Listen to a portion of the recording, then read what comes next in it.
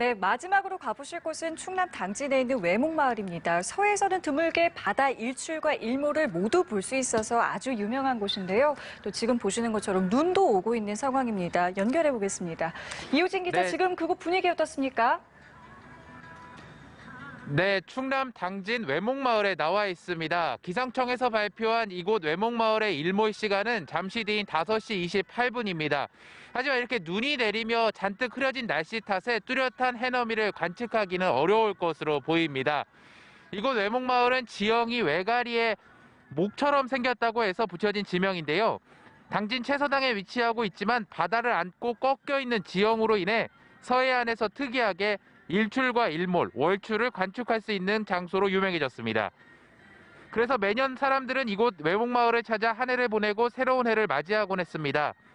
하지만 앞서 보셨던 해넘이 명소들과 똑같이 이것도 올해는 코로나19로 인해 상황이 다릅니다. 몇몇 관광객들이 찾아오긴 했지만 해변은 한산하고 무료 차박지도 텅텅 비었습니다. 매년 진행되던 외목마을 해넘이 해맞이 행사도 모두 취소됐습니다.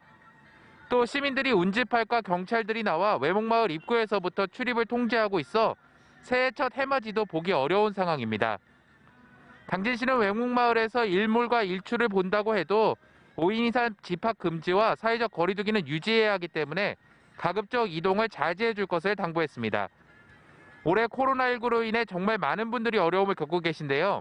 정- 얼마 남지 않은 올해 잘 마무리하시고 새해에는 코로나19가 종식돼 희망만 가득한 한 해가 되길 기원합니다. 지금까지 충남 당진에서 연합뉴스 TV 이호진입니다. 코로나19 여파로 당진 외목마을과 태안 꽃지 해수욕장 등 매년 많은 해돋이 인파가 몰리던 충청권 해수욕장들은 모두 출입이 금지되고 있습니다. 지자체에선 경찰과 함께 현장을 돌며 마을을 통제한 데 이어 순찰을 대폭 강화하고 있습니다. 이런 가운데 온라인으로 잠시 후 있을 새해 일출을 감상할 수 있는 랜선 해돋이가 곳곳에서 진행되는데 당진 시는 유튜브 채널을 통해 랜선으로 외목마을의 해돋이를 생중계하고 있습니다. 또 국립해양조사원도 자체 유튜브 채널을 통해 이어도의 일출 장면을 생중계하고 있습니다. 당진시는 특이한 지형으로 해넘이와 해돋이를 동시에 즐길 수 있는 매목마을 해돋이 장면을 유튜브 채널을 통해 랜선으로 생중계에 눈길을 끌었습니다. 여러 지자체들이 일출을 집에서 편히 감상할 수 있도록 일출 장면을 영상에 담아 생중계하기도 했습니다.